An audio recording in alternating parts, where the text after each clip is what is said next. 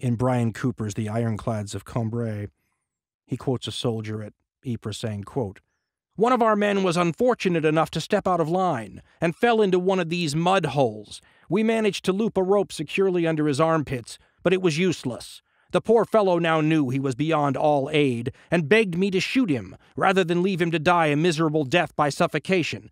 I am not afraid to say, therefore, that I shot this man at his own urgent request. In the accounts, it's clear that this particular mode of dying affected the soldiers, you know, worse than most of the other ones. This is the, the true extra horror of Passchendaele, of Third Ypres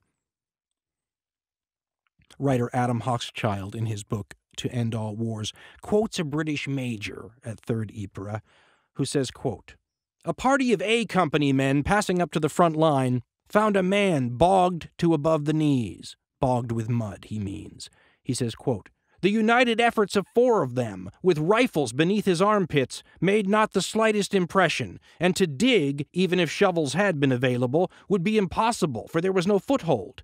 Duty compelled them to move on up to the line, and when two days later they passed down that way, the wretched fellow was still there, but only his head was now visible, and he was raving mad.